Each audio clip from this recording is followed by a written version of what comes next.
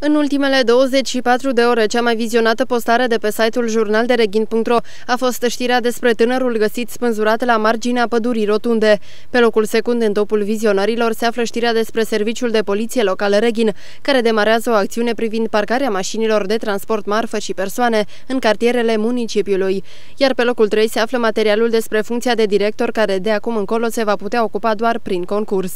Pe pagina de Facebook Dareghin TV, cea mai accesată postare a fost materialul despre tânărul găsit spânzurat la marginea pădurii rotunde. Pe locul secund în topul vizionărilor se află știrea despre serviciul de poliție local Reghin, care demarează o acțiune privind parcarea mașinilor de transport marfă și persoane în cartierele municipiului. Iar pe locul 3 se află materialul despre funcția de director care de acum încolo se va putea ocupa doar prin concurs.